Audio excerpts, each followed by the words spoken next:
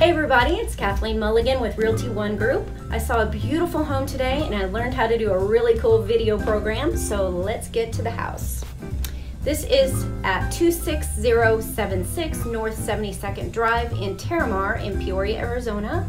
It's a five bedroom, three and a half bath, 4,600 square feet, four car garage, fountain, and a beautiful custom front door offered at $699. Out back, you'll see a beautiful koi pond, and yes, the koi stay. It has a water feature. It has an outdoor fireplace and a beautiful pool, also with a fountain. Inside the family room, you'll see a wet bar, which is super cool. A fireplace, that's number two of three inside. A beautiful kitchen with stainless appliances and a gas cooktop, multiple ovens.